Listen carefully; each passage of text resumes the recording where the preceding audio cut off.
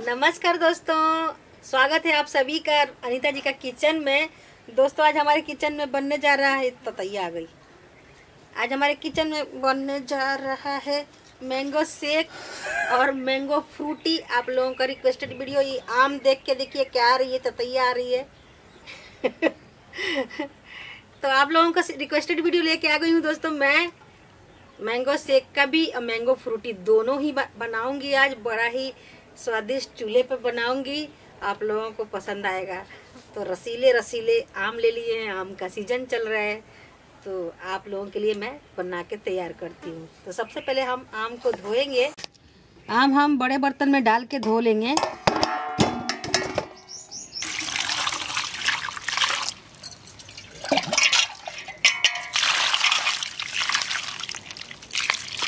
तो देखिए कितना बड़ा बड़ा आम है।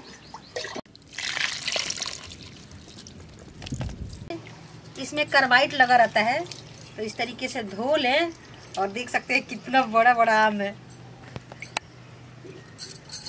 तो एक आम का हम मैंगो शेक बनाएँगे और तीन आम का हम मैंगो फ्रूटी बनाएँगे। तो दोनों मैं बनाऊँगी तो दोनों के बनाने के लिए हम क्या क्या लिए हैं आपको बता देते हैं पहले। एक आम को हम निकाल लेते हैं, कोई सा भी आप पका हुआ आम ले मैंगो शेक के लिए और रसीला आम। तो निकाल ली हूँ मैं एक इसका हम मैंगो शेक बनाएँगे। तो एक आम हम रख लिए हैं, इसका हम मैंगो शेक बनाएँगे। और ये जो तीन आम बचे हैं, इसका हम मैंगो फ्रूटी बनाएँगे। तो इसके लिए मैंगो फ्रूटी के लिए हमें चाहिए कच्चे आम।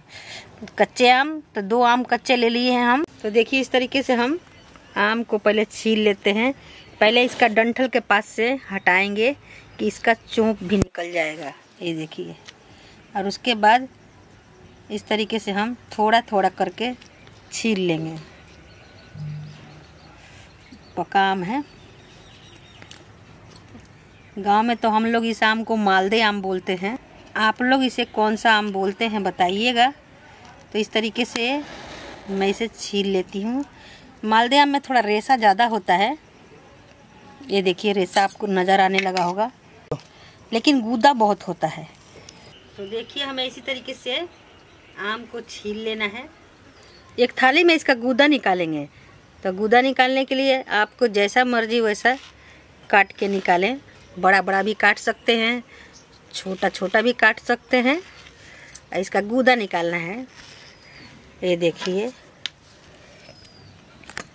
तो इसी तरीके से हम सारा छिलका को निकाल कर रख लेते हैं। छिलका मैं बचा ले रही हूँ, इसमें गूदा है हल्का हल्का बच्चे सब खा लेंगे। पक्का आम का हम गूदा निकाल लिए हैं, अब कच्चा आम का भी हम गूदा निकाल लेते हैं। तो दो किलो आम में आप 200 ग्राम कच्चा आम डाल सकते हैं। अगर थोड़ा आपको खट्टा कम पसंद है तो 100 ग्राम भी डालें। लेकिन 200 ग्राम में बढ़िया फ्रूटी बनता है। कच्चे आम को हम बारीक बारीक कुचूर लेंगे। ये देखिए कैसे काट रही हूँ। इस तरीके से छोटा छोटा पीस काट ले रही हूँ। दो किलो पक्का आम में दोस्तों हम 200 ग्राम कच्चा आम डाले हैं। थोड़ा सा कम ज़्यादा भी आप कर सकते हैं, ऐसा कोई दिक्कत नहीं है। एक आम जो हम बचाए थे मैंगो शेक के लिए, उसे भी छील लेते हैं दोस्तों। ये देखिए बड़ा ही पीला आम है। देख के लालच आ रहा है। आम का हम गूदा निकाल लेते हैं एक जार में। तो देखिए, मिक्सी जार में मैं निकाल के डाल लेती हूँ। और फिर हम मैंगो शेक बनाएँगे। यहीं पे हम गाय का दूध डालेंगे। जितना आपको गाढ़ा रखना हो, उतना ही डालिएगा। मैं यहाँ पर थोड़ा मलाई भी डाल ली हूँ। यहीं पे दोस्तों, चीनी या मिश्री कुछ भी हो, आप डालें अपने मीठा के अनुसार। मैं दो चम्मच डाल ली हूँ। अब इसे हम बिल्कुल बारीक पीस लेते हैं। तो ये देखिए दोस्तों, मिट्टी है। मिट्टी हम अच्छा चिड़िया को खाने जा रही थी बिल्ली अच्छा। हाँ। देखो डर गई है कैसे उसको? उसको भगा रही है देखो। तो दोस्तों हमारे गार्डन में एक बिल्ली आई थी तो चिड़िया लोग यहाँ पर रहती है। तो उसको देख के ना देख के क्या उसको खाने को झपट्टा मारने को गई तो चिड़िया को गुस्सा आ गया और भगा के बहुत दूर तक उसको ले गई। मैं मिट्टी का लेप लगा लेती हूँ। चूल्हा जला लेते हैं दोस्तों।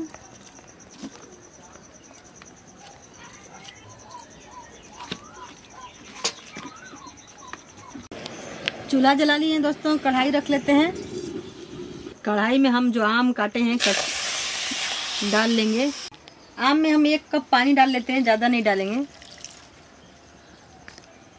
इसे अच्छे से गलने के लिए छोड़ देंगे। तो देखिए कितना बढ़िया इसमें उबाल आ रहा है। तो इसे हम कम से कम आठ से दस मिनट पकाएँगे। उसके बाद इसमें हम क्या क्या चीज़ डालेंगे मैं आपको बता देती हूँ।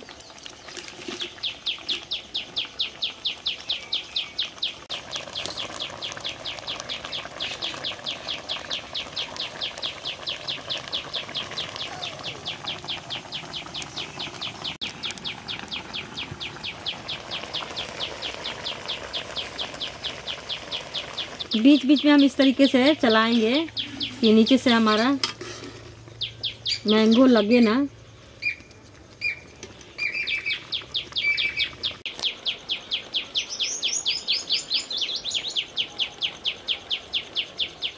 तो देखिए दोस्तों, हम इसे हलवा के से पका लिए हैं सात आठ मिनट। बहुत अच्छा दिख रहा। है तो अब यहीं पे चीनी डालेंगे। तो मैं यहाँ पे डेढ़ सौ ग्राम चीनी डाल रही हूँ।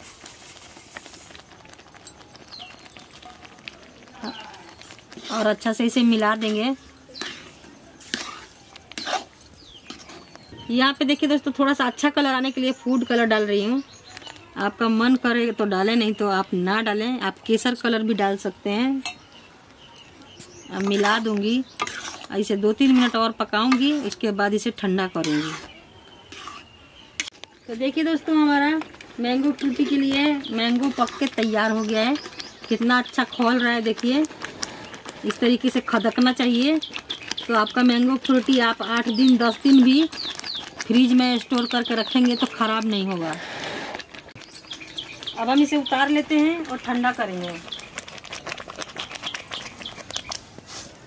हमारा मैंगो ठंडा हो गया है तो एक हम जार में इसे डाल के और बिल्कुल बारीक पीसेंगे। पानी नहीं डालेंगे, इसमें ऐसे ही पीस लेंगे।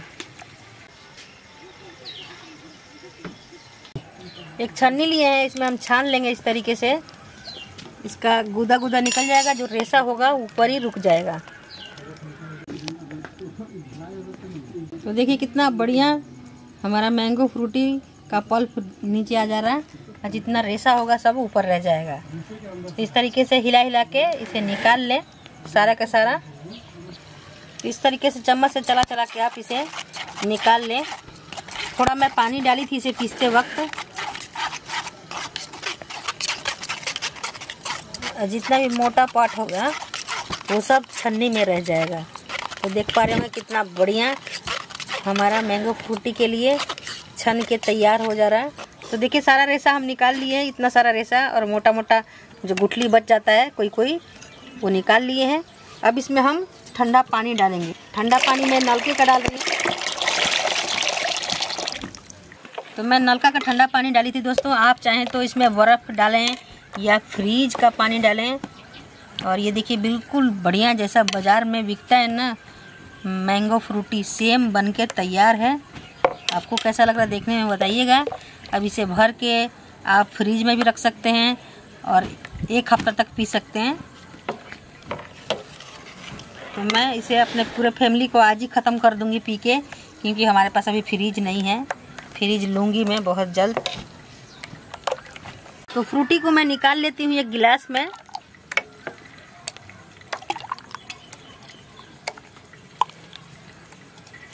बहुत ही बढ़िया, लजीज लग रहा देखने में। अब हम मैंगो शेक भी सर्व कर लेते हैं।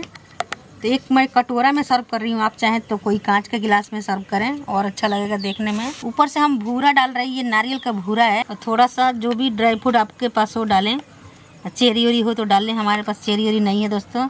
तो देखिए कितना बढ़िया लग रहा। है इस तरीके से मैं इसे कटोरे में ही सर्व कर दी हूँ। आपको कैसा लग रहा है बताइएगा। तो देखिए दोस्तों, हमारा मैंगो फ्रूटी भी तैयार है मैंगो शेक भी तैयार है। और मैंगो मैंगो शेक को हम इस तरीके से खाते हैं। देखिए कितना लजीज बना है, मैं आपको दोबारा भी दिखा रही हूँ। ये देखिए, एकदम बिल्कुल गाढ़ा गाढ़ा मज़ा आ जाएगा इसमें, दूध डाली थी। तो इस तरीके से हम बनाते हैं। आपको कैसा लगा बताइएगा। और अपने घर पे ज़रूर बनाइएगा एक बार। बहुत ही कम आम में ढेर सारा फ्रूटी भी बन जाता है और बच्चों को बहुत पसंद आता है। मैंगो शेक तो बड़ों को भी पसंद आता है, बच्चों को भी पसंद आता है। लेकिन बच्चे आपके अगर छोटे छोटे हैं तो आप भी बना के इसे फ्रिज में रख लीजिए और एक हफ़्ता तक उन्हें पिला सकते हैं। बहुत ही मज़ा आएगा। अपने हाथों से बनाया हुआ मैंगो फ्रूटी, मैंगो से खिलाइएगा तो बहुत मज़ा आएगा बच्चों को। तो मैं आपको टेस्ट करके बताती हूँ कैसा बना है हमारा मैंगो फ्रूटी।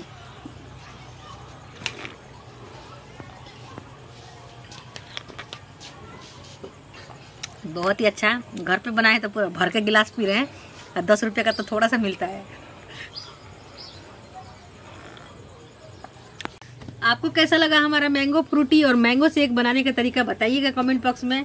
वीडियो अच्छा लगा हो तो वीडियो को लाइक कर दीजिएगा। हमारे चैनल को ज़रूर सब्सक्राइब कीजिएगा।